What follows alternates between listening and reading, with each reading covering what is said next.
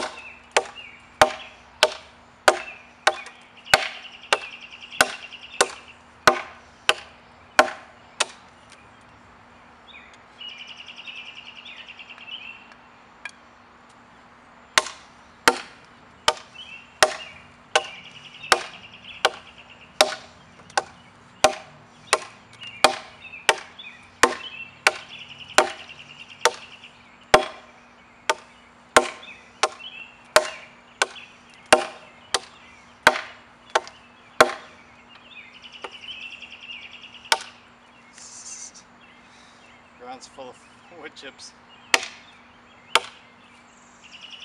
But really happy with this guy. Thinking about changing the handle. Putting on some like grip tape, tennis tape on this guy. Remember, keep your knife sharp, your mind sharp. I'm Nick Woo too. Thanks for watching.